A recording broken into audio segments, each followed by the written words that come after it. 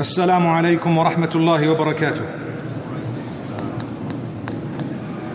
بسم الله الرحمن الرحيم الحمد لله رب العالمين والصلاة والسلام على أشرف الأنبياء والمرسلين نبينا محمد وعلى آله وصحبه والتابعين ومن تبعهم بإحسان إلى يوم الدين وبعد. We commence by praising Allah subhanahu wa ta'ala. We send blessings and salutations upon Muhammad sallallahu alayhi wa sallam, his entire household, all his companions. We ask Allah subhanahu wa ta'ala to bless them all and to grant every single one of them forgiveness and goodness. And we ask Allah subhanahu wa ta'ala to bless every single one of us too. My brothers and sisters, if we take a look at the gifts of Allah subhanahu wa ta'ala upon us, they are so many, we actually take them for granted. The fact that you are looking at me right now and I'm seeing you, that is a great gift of Allah subhanahu wa ta'ala.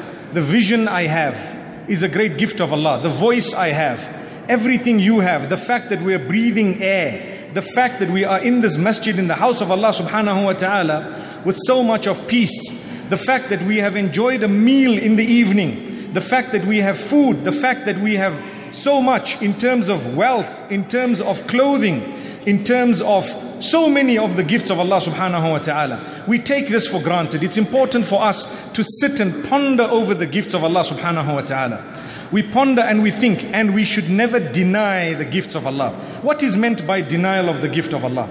You know that Allah has given you, you know that you have family, you have children, perhaps you have so much of goodness, but you do not fulfill the basic rights that you owe Allah subhanahu wa ta'ala. You do not fulfill your salah. You cannot give your zakah correctly. You dilly dally when it comes to hajj. When it comes, for example, to obeying the instruction of Allah subhanahu wa ta'ala regarding the fast in Ramadan.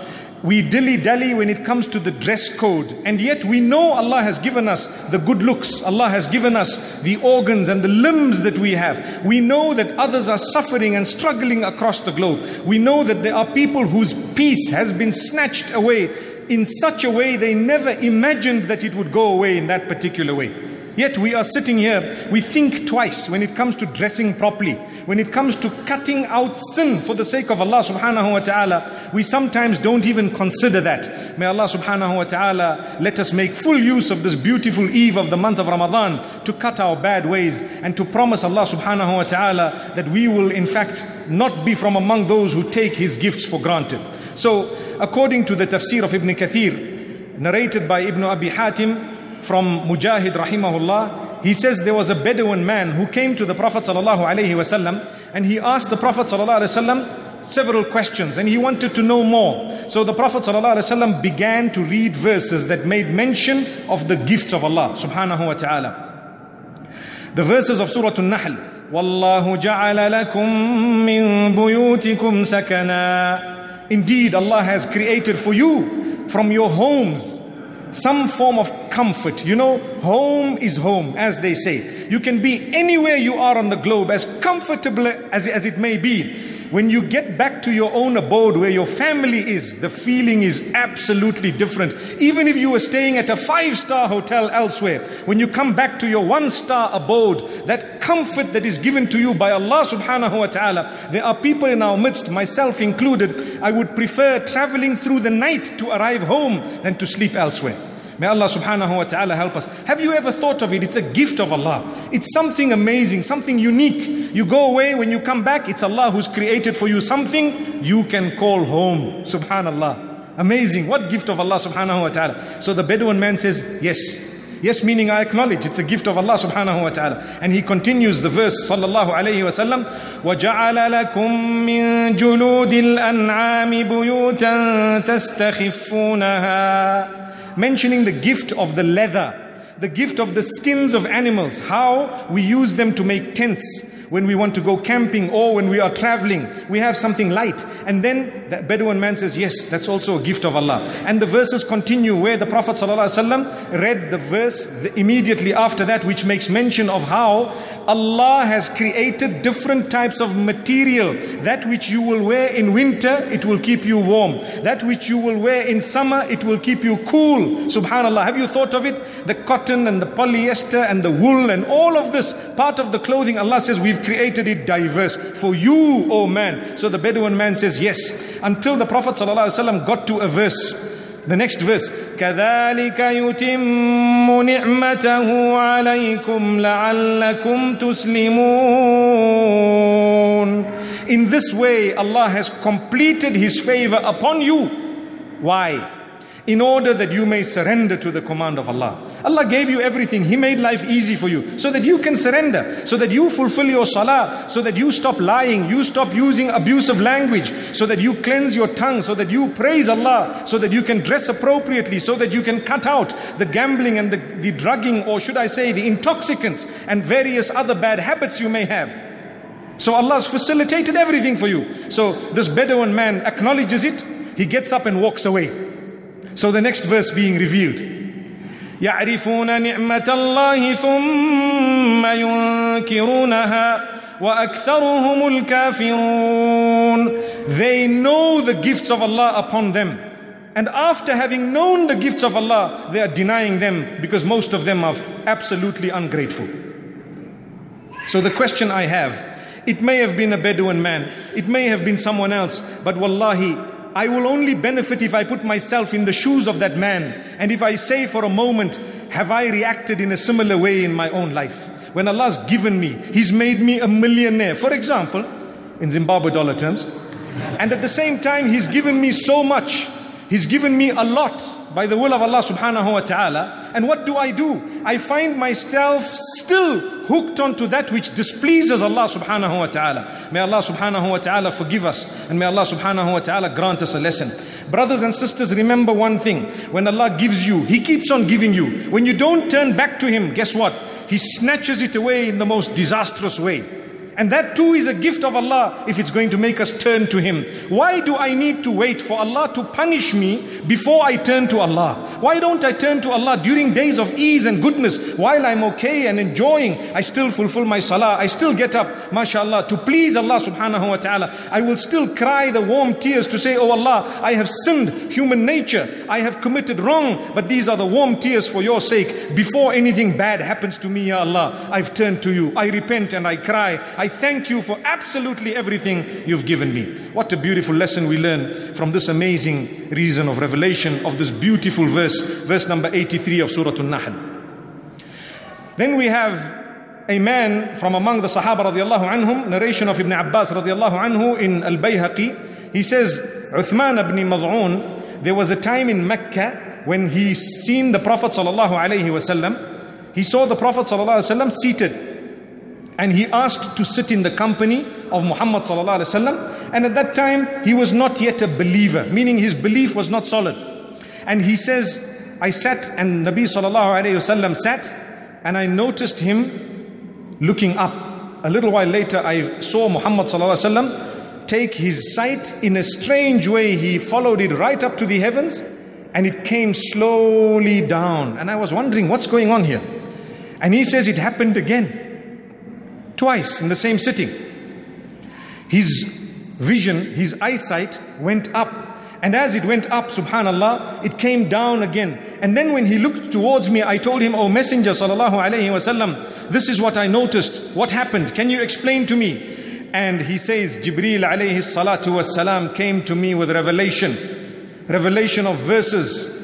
What were those verses? So Uthman ibn Mad'un is now listening to verses that were revealed in his presence. He used to say it all the time later on that I know of verses that came down while I was watching.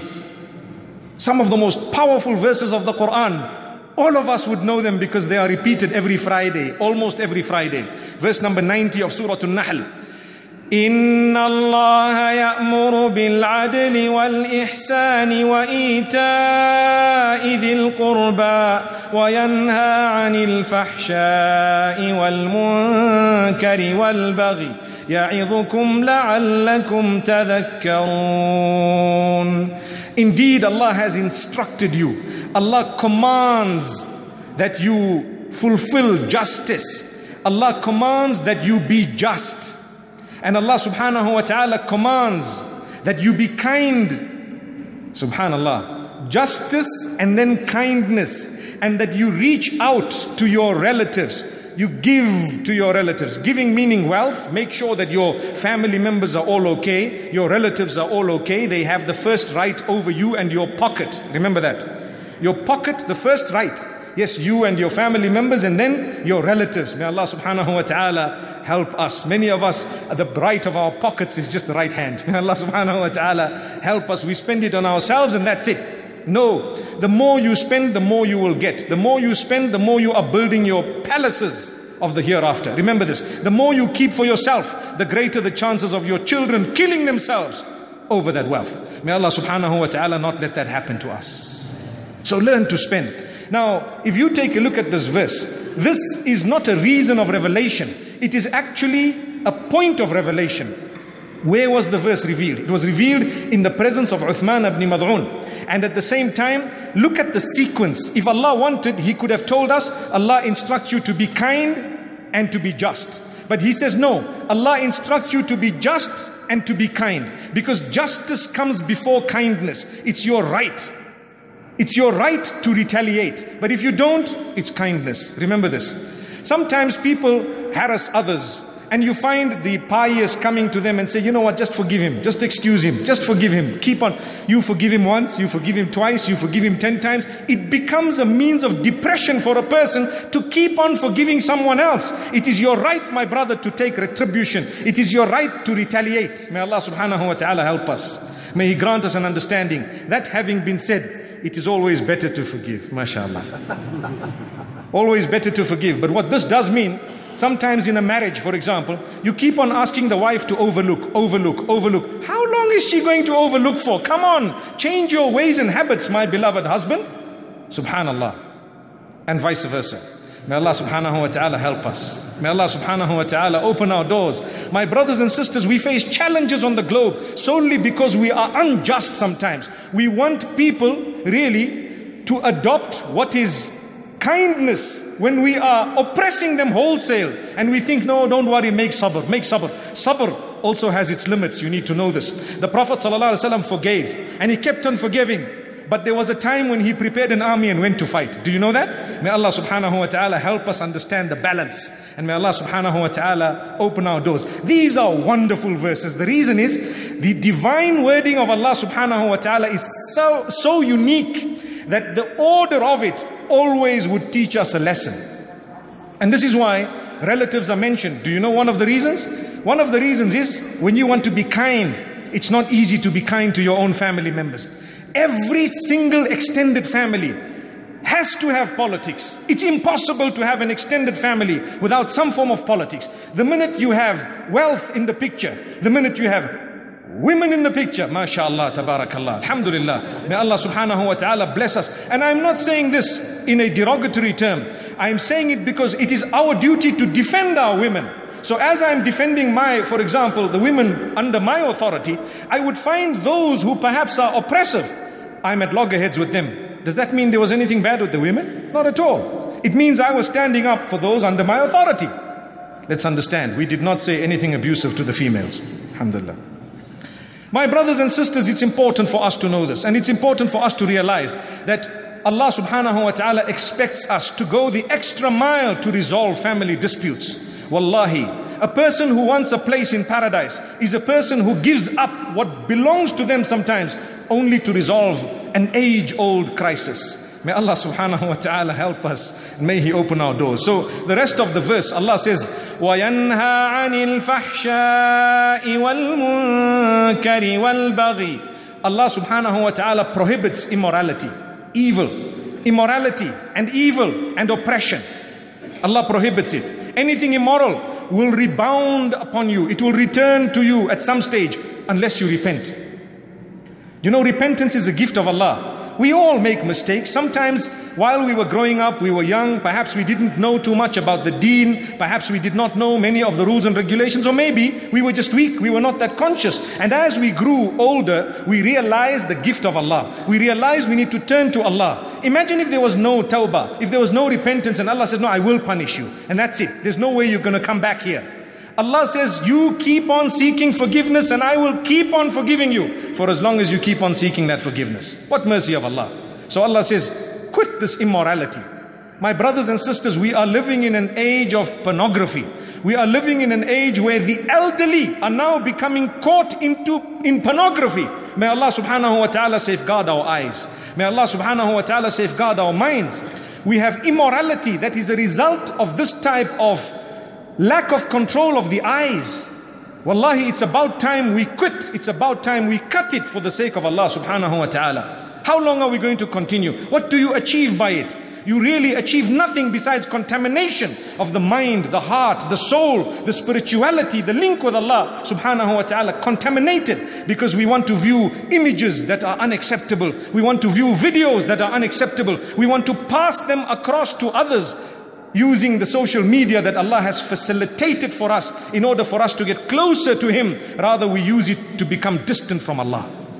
The social media we have, whether it is WhatsApp, whether it is Twitter, Facebook, whatever it is, it is there as a test for you and I in order to see whether we will use it to draw closer to Allah subhanahu wa ta'ala. What do we do?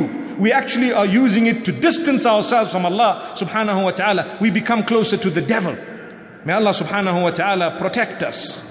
This is why we have reminders of this nature where Allah tells us, stay away from immorality. It will harm you. It's not going to do any good to you. It will contaminate you. It will destroy your family, your home. You would have achieved nothing, absolutely nothing. May Allah subhanahu wa ta'ala grant us strength. Then Allah subhanahu wa ta'ala reminds us using a beautiful example of a woman who was not too well in her mind. At the time of the Prophet sallallahu alaihi wasallam, what she used to do, she used to spin the thread. You know, she used to weave and she used to strengthen what she had made. And at the end of the day, after having knitted or after having made whatever she made, she would sit and undo the whole thing once again. Now, that example fits for myself and yourselves, where sometimes we do a lot of good deeds, then we backbite about someone, we swear them, we cheat them, we deceive them, we've robbed them, whatever we've done, and our good deeds are all undone by going to that particular person. So I read Salah in the first saf. Before I walked out of the masjid, I engaged in backbiting. What happened to that Salah? Before I walked out, it's already gone to another man who probably didn't even come to the masjid. Subhanallah. And we think he was evil and terrible, not realizing, brother, you just fulfilled it. On the account, it's gone to the other man. May Allah forgive us. Don't do that. It is very serious. It's a matter of importance whereby when you do a good deed, ask yourself, have I looked after the deed? Have I protected it? Have I tried my best to ensure it will come with me to the day of Qiyamah? May Allah subhanahu wa ta'ala help us. You've done your deeds. Will they really be with you on the day of judgment? May Allah forgive our shortcomings and may He strengthen us. So, this verse, Tafsir, Tafsir Qurtubi, has a narration of Ibn Abi Hatim. And the Prophet ﷺ speaks of this woman who is from Banu Sa'ad, who used to, as I said, weave and at the end of the day undo everything she had woven. So Allah says, verse number 92. ولا تكونوا كالتي نقضت غزلها من بعد قوة أنكاثا تتخذون أيمانكم دخلا بينكم أن تكون أمة هي أربى من أمة. Do not be like the woman who untwisted her spun thread after it was strong. In order that some of you may usurp the wealth of others so that you become rich. So people used to ta- swear an oath and they make promises. When it comes to business, especially, a lot of people make many promises that they cannot meet. Why make the promise? You've made a promise, stick to it or don't have made it in the first place. Subhanallah. So Allah says, do not be like the one who keeps on promising, promising, and then goes back on all those promises one after the other. It's equivalent to this woman. She builds on something, and after the after the day, she actually undoes the whole thing. May Allah subhanahu wa ta'ala grant us ease. Then we have the incident of those who were persecuted in Makkah al-Mukarramah. Today it's becoming quite difficult for some people to declare that they are Muslim in some countries where people would like to revert to Islam, either their families or their communities, or sometimes the situation does not allow them to openly declare that we are Muslim. So you have many people who ask a question, are we allowed to become Muslim without many people knowing that we're Muslim? The answer is yes. Obviously, it's Allah subhanahu wa ta'ala Allah knows that you, you have believed in your heart. It is best to become a, a part of the group and it is best to join. But you don't have to declare to the globe that you are a Muslim. If there is a reason that you fear perhaps for your life or you fear something and perhaps you may not be able to announce it for some reason, so there is no problem. May Allah subhanahu wa ta'ala make it easy for us all. We take it for granted, my brothers and sisters, but we don't realize what others are going through. Us, we are born Muslimin. We have, in most cases, and we have no problem practicing Islam in our environment, yet we don't want to practice it. And those who are struggling across the globe, who have to pay a fine to wear hijab, they are wearing it and paying the fine. How's that?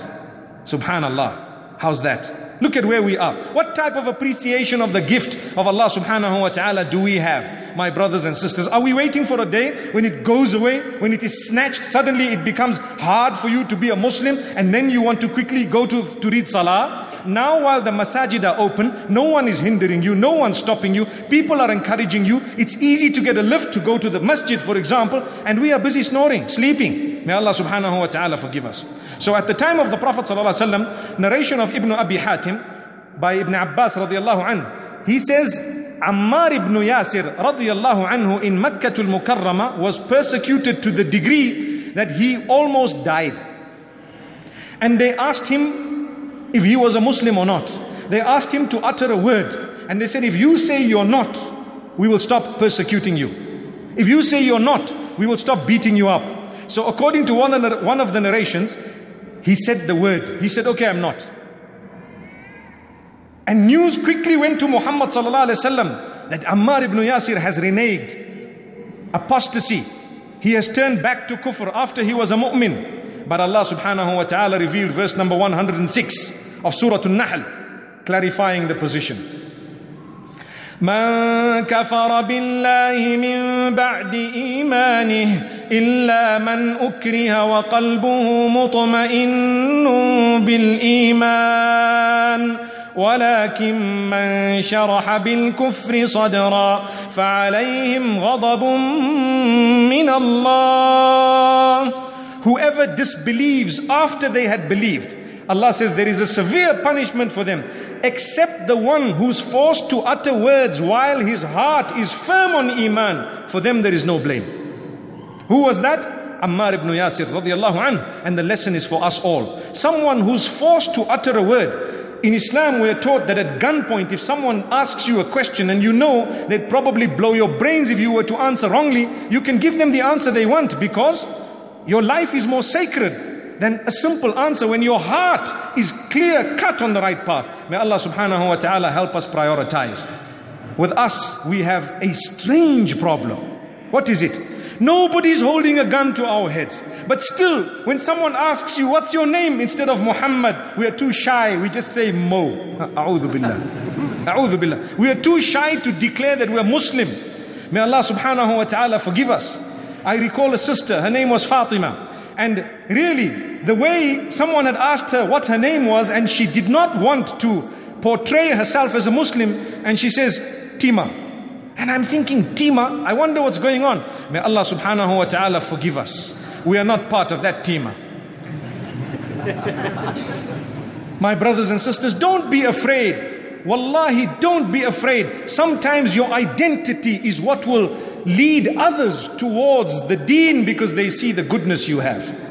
If I'm really a decent person, why should I hide the fact that I'm a Muslim? When others know this person is a Muslim, they're decent, they will be attracted to the true deen, to the true religion, because they know that I'm a person who, who is a Muslim, who's trying to follow Islam, and I'm a good person. May Allah subhanahu wa ta'ala make us all good. So this was a beautiful uh, clarification of the situation of Ammar ibn Yasir and the Prophet ﷺ said that he is definitely filled with Iman, filled with Iman. He was a man who struggled. They were persecuted. The others who were persecuted, Bilal ibn Rabah, Khabbab ibn al-Arat, radiallahu anhum, Suhaib al-Rumi, and the others, a lot of them refused even to say the word. They took the punishment. They were bleeding up to the end, but they did not say any words to please the kuffar. May Allah subhanahu wa ta'ala grant us a little bit of strength. Then we learn another beautiful lesson also from the verses of the Quran. Sometimes when someone has done something bad to you, you end up doing bad to them for the rest of their lives. Someone made one mistake, say for example, they said something wrong, they did something wrong. We hold it as a grudge in our hearts forever and ever. And we penalize them forever because of one thing they did. Allahu Akbar. But we don't realize every one of us makes mistakes. If Allah subhanahu wa ta'ala had to double up the punishment for anything we did, I think we would be doomed. But Allah subhanahu wa ta'ala says, and His mercy is such, when you do a good deed, I will multiply it by 10. When you've done a bad deed, I keep it as it is, and in fact, I look for an excuse to forgive it. Subhanallah. Allah doesn't multiply the evil deeds. No, He doesn't. He only multiplies the good deeds the mercy of Allah subhanahu wa ta'ala. So the battle of Uhud took place. And this narration is made mention of in Sunan al-Tirmidhi as well as a book known as Al-Mustadrak of Imam Hakim. Narration of Ubay ibn Ka'b radiallahu anh. He says on the day of Uhud, almost 70 Sahaba were martyred. From among them was Hamza ibn Abdul Muttalib. And what happened?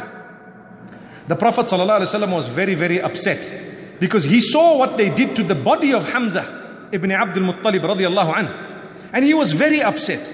And the Ansar were hurt and the Muhajirin were hurt. So many of the Muslimin were martyred. The battle of Uhud. And do you know what? Some of the Ansar said, when we have a moment, we will ensure that we do to them double this. Which means we massacre them. Astaghfirullah. May Allah subhanahu wa ta'ala forgive us. We will do double. Obviously they were hurt. May Allah subhanahu wa ta'ala help us. So it is reported that on the day of the victory of Mecca, Allah subhanahu wa ta'ala revealed the following verse. And this verse may have been revealed more than once. It appears in the Quran once, but it may have been revealed more than once. Once at the occasion of Uhud and once upon the victory of Mecca or perhaps only upon the victory of Mecca. But the lesson is for us all to learn. Allah says, this is verse number 126 of Surah An-Nahl. وإن عاقبتم فعاقبوا بمثل ما عوقبتم به ولئن صبرتم لهو خير للصابرين When you are punishing, punish equivalent to the crime that was committed. But if you were to bear patience, it is better for those who bear patience. Which means if one person has struck one person, you may strike one person. You don't say, I'm going to strike 70 people because of one. If your child, for example, has said a bad word, in order to reprimand the child, to correct the child, you don't slap the child until the child turns green and blue. No, it's a swear word. Perhaps the child needs correction. Guess what? They probably learnt it from you. May Allah forgive us. A lot of the times the children utter words. Where did they get it from? The mother, the father. And then the mother and the father have a debate who exactly it was. May Allah subhanahu wa ta'ala forgive us. May Allah subhanahu wa ta'ala open our doors. When you want to punish, when you want to retaliate, do not go beyond the limits. Study the case. Look at what is the deserving punishment. You may exercise it. But Allah ends by saying, if you are patient, if you are patient, it's better for those who bear patience. Much better. So take it easy. Now let's look at what happened upon the victory of Mecca. Wow, beautiful. The Prophet ﷺ being faced with the same lot who came to Uhud to massacre his own uncle and the others. And he looks at them and says, Ya ma'shara Quraysh, O people of Quraysh, ماذا تظنون أني فاعل بكم? What do you think I'm going to do to you today? And obviously he could have done anything because he's got the power, the authority, the final say, the army, the weaponry, everything is there. And these people are criminals. They did not deserve to actually live if you take a careful look at it because they had massacred Muslimin. If they were court martialed, they would have been executed, all of them. But he says, when they looked at him, they said, You know, you're a kind man. Ah, now suddenly you're a kind man, isn't it? You're a kind man.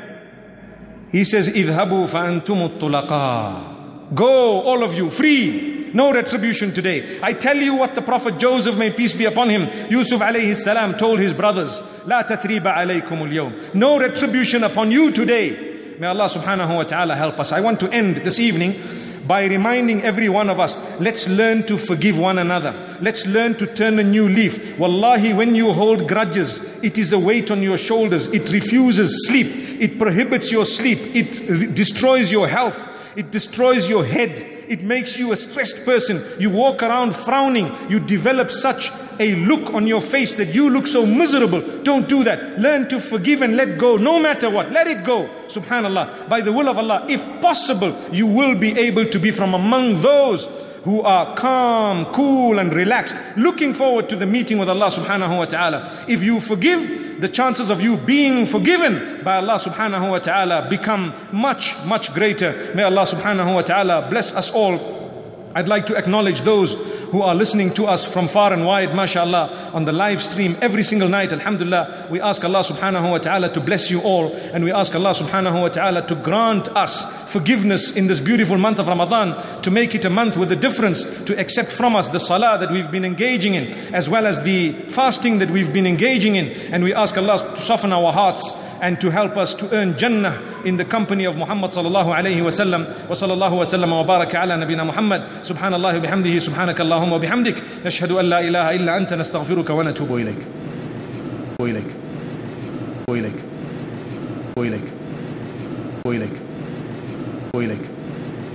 Wa ilayk